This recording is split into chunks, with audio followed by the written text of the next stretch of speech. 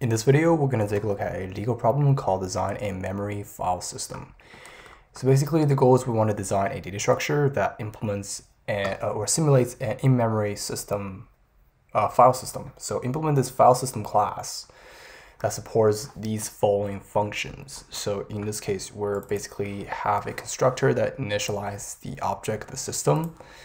And we also have this ls function, basically um, do a couple things here. So if the it takes a path, right, in a string format, and if the path is a file path, right, returns a list that only contains this file's name, okay? And if it's a directory path, we want to return the list of file and directory names in this directory. So the answer should be lexicographical order. Uh, basically, we want to uh, return a list, right, of string that contains either the file name, if it's a file path.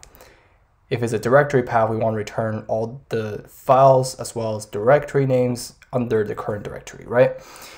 In sorted order, of course. Um, and then you can also see here we have mkdir. It takes the path and then it makes a direct, new directory according to the given path. So the given pa directory path does not exist if the middle directories in the path does, do not exist, we should create them. So basically what we're gonna do is that we're basically just going to create this path, right? This, this, this path. Um, so for example, if we have something like this, we wanna create A, we wanna create B, we wanna create C, each of them is a directory. And then B is under the A directory, C is under the B directory, right? So, and then we also have add content to file. So it takes the file path and the content. So what we're basically doing is we take this file path that's already exist, right? If the, if the file path, uh, path does not exist, create the file path containing the given content.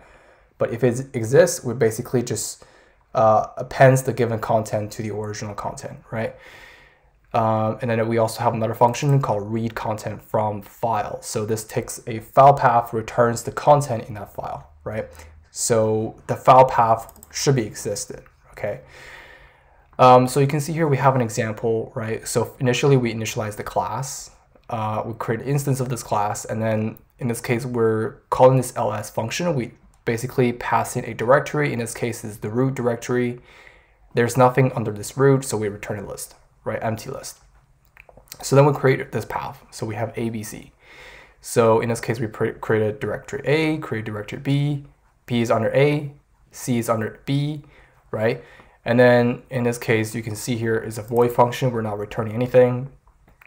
So once we create this directory, and then we're going to add a content, add content to this to the file. In this case, it's ABC, and then we are creating the last one right there is a D. That's basically a file, right? This file basically we have a content that we're going to append onto it, right?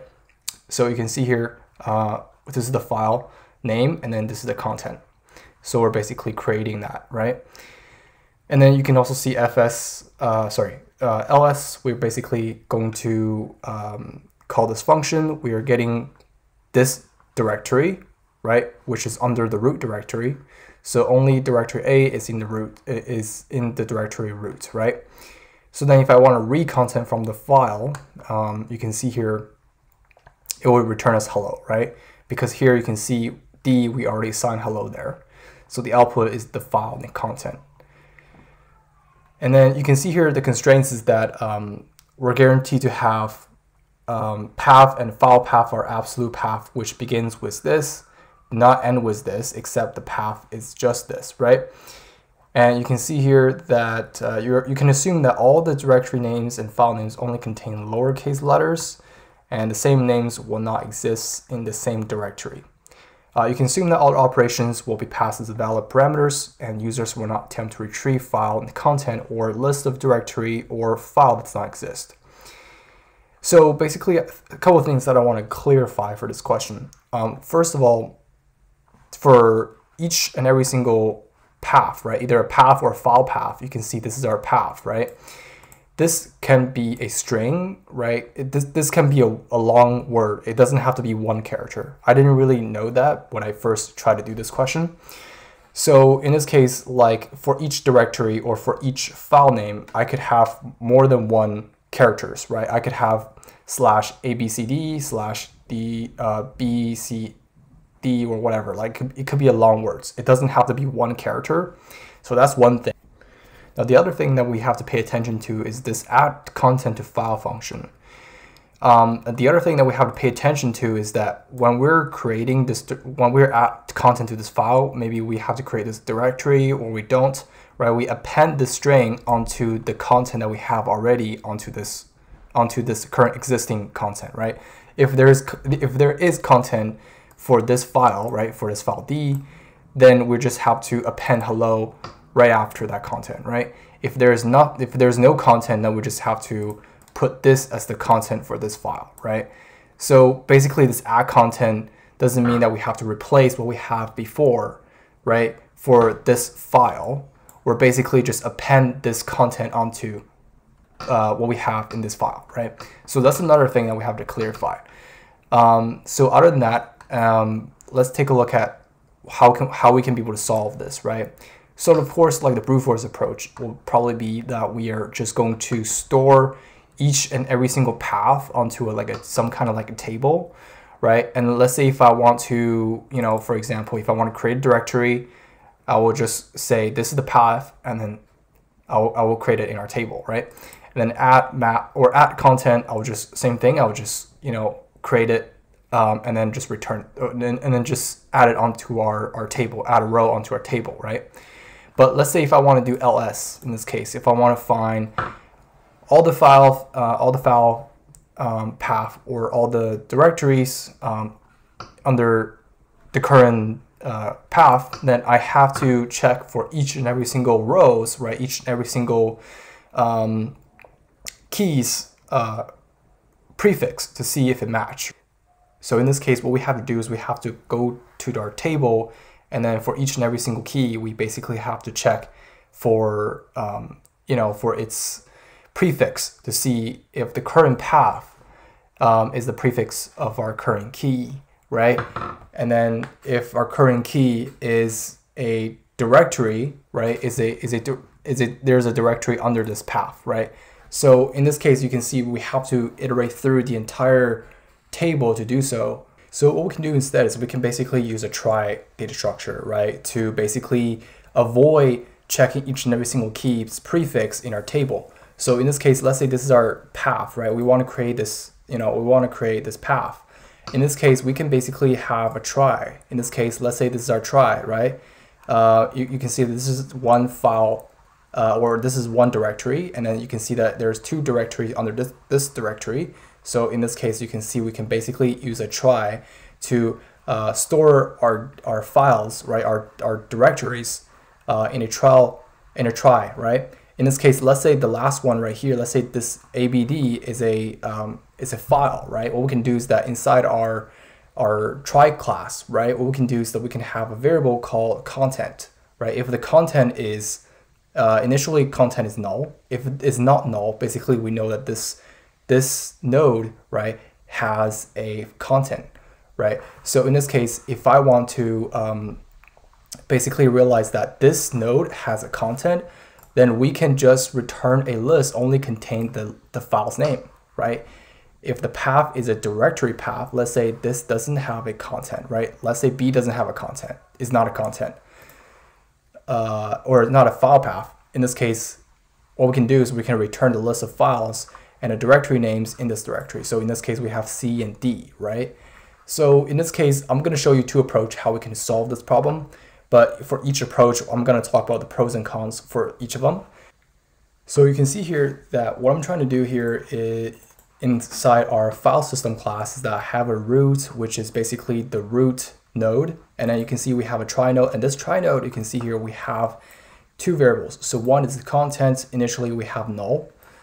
And then we also have children. In this case, we have a table that keep track of uh, current node's children, right? The string is basically the current directory's name. And then we have trie node, which is basically the, the, the children, right? Um, of that directory, right? So, and then you can see here, we have our ls function, we takes the, it takes the path. And then basically what we're trying to do here is we're trying to get to the correct node, right? So let's say the path is equal to AB, right? Let's say if the path is equal to slash A slash B, then in this case, we're going from the roots, we're going down to A and then go down to B, right? We want to get to the, the last node. And then once we're at the last node, what we're gonna do is we're going to get all the keys that we have for this node, and then we're gonna sort it, right? Because we want to, you know, we want to have a uh, return a list that is in lexical order, right? We're basically in a uh, increasing order, uh, sort of increasing sorted order, right? For our string, and then we're returning its children, right? And let's say if the path does equal to, you know, this thing, right? Which is still okay. Like we're basically at the root and then we're just going to return, you know, the current, all the children for the current node, right? In this case, it's just A, right? And we're basically add A onto the list and then we're returning that, right? We're sorting and, uh, and then returning that, right? And then if I want to create a directory, in this case, it takes a path. And then what, what we're going to do is we're going to split by this string, right? And then basically here you can see we're basically starting at index one because if we are splitting by the, uh, you know, the slash, that in this case, the first index, right, the first element in the array is basically going to be empty, right, empty string. And then what we're going to do is that we're going to start to traversing the tree, right, starting from traversing the tree. So we have current string, array at i, and then we check to see if it contains, if it doesn't contain, we create that in that, uh, create that element in the table and then we're basically traversing, right? So in this case, let's say if the path, again, if it's A, B, C, right, we're going to start from the root, go from here, here, and here, right? Pretend that, you know, B, C is not there before, right? So that's what we're basically doing. And then at the end, you can see we also have another function, add content to file, which is also pretty easy, right? You get an idea, we're basically creating that path if it's not there, and then if current.content is not null, then we basically just add that content, add the current content onto it. If it's null, we basically just set the current node's content to be content. For reading content from the file, it's pretty much similar, right? We're basically get to that node. And then what we're going to do is we're just going to return the current node's content, right? So that's basically it, which is pretty simple. Um, but you can see that the core function is here, right? Where basically you can see the time complexity um, for this, right? Well, basically when we try to get to this node, in this case, it's basically just m, right? m is basically how many, uh, or basically the longest uh, path, right? Or the path, right, is basically is basically the path that we have to traverse, right? We basically have to traverse each and every single, uh, kind of like each and every single string that we have in our path, right? or in this case, if we want, we want to traverse each and every single directory, right, in our path, once we get to the last directory, uh, we have to do our sorting, right? And this current directory could have many directories under this directory. So in this case, we have to perform a sorting. In this case, is going to be, uh, depends on how many um, elements that this directory has, right? Let's say we have k number of elements, then it's going to be k log k, right? So you can see the time complexity for this is basically going to be m plus k log k, right? So in, in this case, you can see here, um, this is this is basically the time complexity for this. And then for other functions, right, um, basically you can see that we're basically just going to um, going to create this directory. So it's going to basically m, right? Basically m is basically the size of our path. Same thing for this one as well as this one, right? Basically we're traversing down this file path or directory path and then we're, you know, changing some stuff, right? Um, and then that's it. But let's say but there's also another way we can solve this problem to use a tree map, right? A tree map basically is kind of like a hash map, but we're basically just going to keep the tree, right? Keep all the elements in our tree in a sorted, sorted manner, right? But the time complexity for, you know, adding elements, removing elements, and then checking to see if a key exists is going to be a log n, right? Because this, uh, this, this tree map basically uses, and then basically you can see that the the tree map implements red black tree, which is basically a self-balancing binary search tree, right? And we know that for insertion and deletion in binary search tree where binary tree is basically just going to be log n. So therefore, um, if we were to solve this problem using a using a tree map, right? Um, the time complexity for you know insertion and delete and reading elements or basically traversing down this path, right? For example, mostly those two functions, uh, add content. We basically if it's, if the the current node doesn't have the string, then we basically have to insert it, right? Which is basically a log and uh, or log k time complexity, right? Um, and then you can see here k is basically the, the size of our current node's, node's tree map size, right?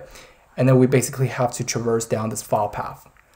And but for this function, in this case, because this is already sorted, we're basically all we're trying to do is we're trying to go down to the correct path, and then we're just going to uh, get its children. So you can see the time complexity is basically just m, which is basically how many directories that we have to go down to, right?